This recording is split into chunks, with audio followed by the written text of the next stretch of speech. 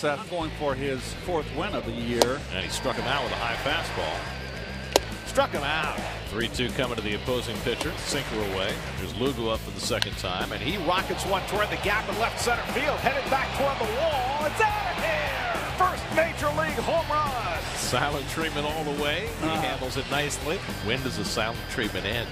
Is he not liked? Is he liked? and now you see.